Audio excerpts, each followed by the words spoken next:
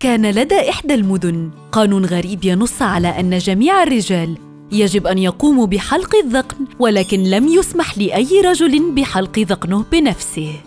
الشخص الوحيد المرخص له بحلقها هو مصفف الشعر البالغ من العمر أربعين عاماً.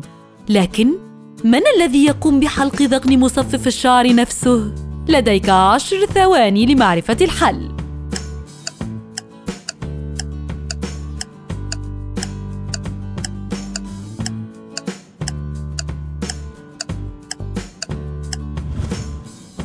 لم تكن هناك حاجة لذلك لأن مصفف الشعر كان امرأة. لدينا لوحة ممتلئة بحرف الأس. هل يمكنك العثور على الرمز المختلف؟ لديك فقط خمس ثواني للعثور على الرمز المختلف.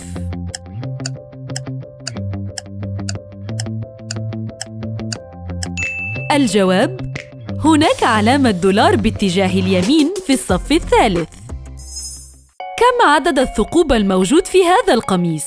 لقد بدأ العد التنازلي الآن.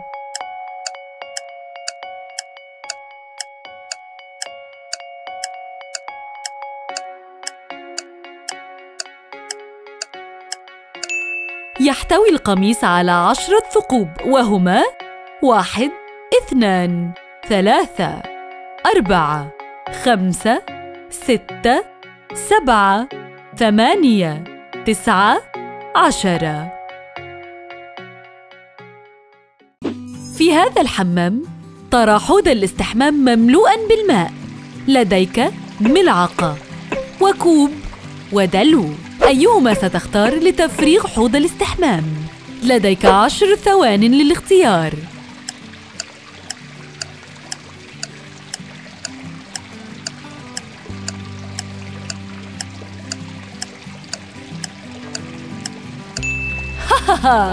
من الواضح أنك سوف تختار سحب غطاء البلوعة لتفريغ الحوض.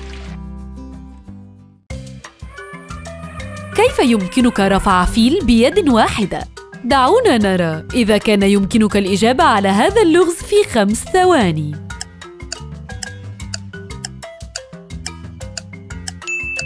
إنها ليست مشكلة لأنك لن تجد فيلاً بيد واحدة من الأساس حتى تقوم برفعه.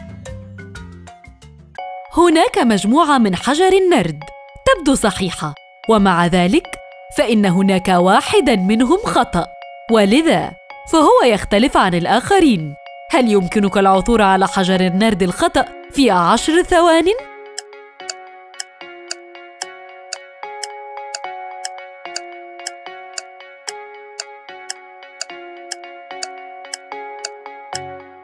النرد الخطأ هو الذي يحتوي على سبعة نقاط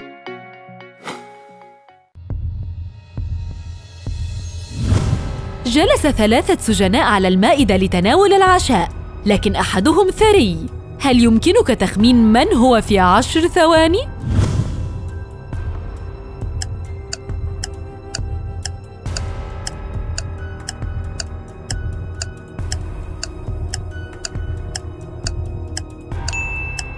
إنه ليس الرجل الذي لديه شريحة اللحم والجمبري لأن العلامة الصغيرة على قميصه تكشف أنه طاه ويجب تحضير وجبة خاصة لنفسه. الرجل صاحب الجواهر يظهر أنه ثري ولكن المجوهرات في السجن لا قيمة لها من الأساس.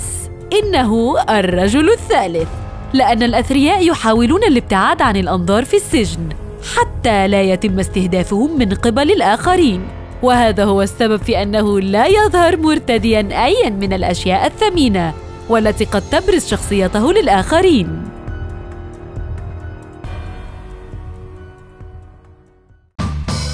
والآن كم عدد الألغاز التي قمت بحلها؟ وأيهما كان الأصعب؟